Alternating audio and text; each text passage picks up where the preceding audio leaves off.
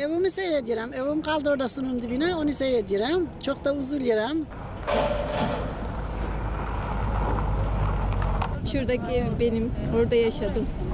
Ötekinde yaşadım. Yaşadıkları evlerin, yürüdükleri yolların yavaş yavaş suya gömülmesini buğulu gözlerle izliyorlar. Üzünlenmek yani az kelime de bir ağlamama için kendimizi zor tutuyoruz yani. ya. Türkiye'nin yıllık ortalama 2 milyar kilowatt saatlik elektrik üretecek en yüksek barajında su seviyesi gün be gün yükselirken mahallelerde gözden kayboluyor. Evim su altında hemen hemen kalmak üzere. Suyun altına kalan anı- anılarımızı, yaşamlarımızı, evlerimizi, geçmiş hayatımıza bakıyoruz daha doğrusu. Doğup büyüdükleri, ömürlerinin geçtiği mahalleleri son kez görmek, anılarını yad etmek isteyen Yusufeliler soluğu eski ilçe merkezinde alıyor. Buradan e, geçmişimizi seyrediyoruz.